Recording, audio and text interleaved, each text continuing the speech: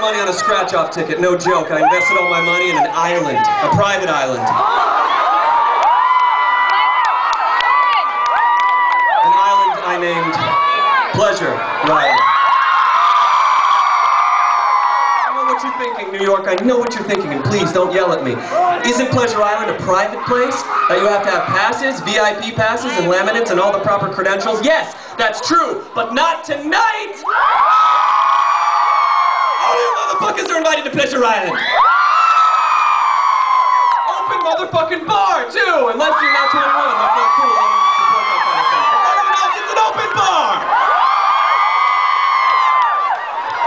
And thanks to this space-age technology I have before me, I am going to go to Pleasure Island all on my own. And I'm going to show you how to do it too, okay? Are you guys ready to embark on the most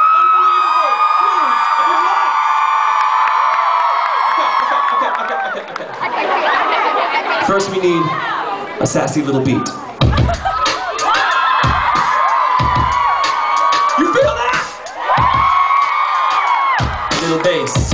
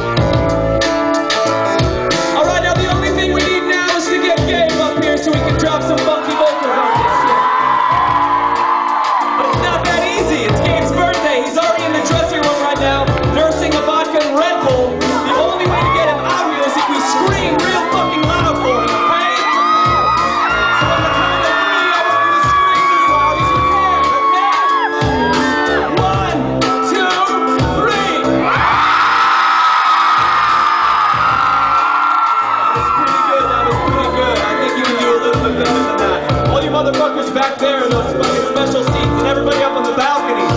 I want to hear everybody scream on the count of three. One, two, three.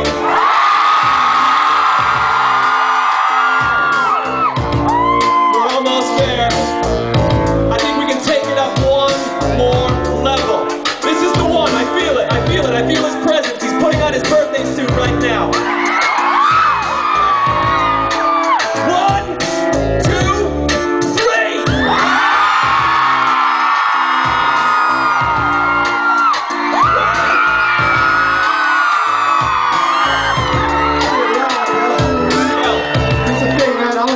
Backstage. This is a nice venue.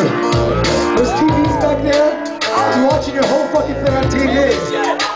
You're a fucking genius, bro. did it look? Make some noise and Pleasure Island.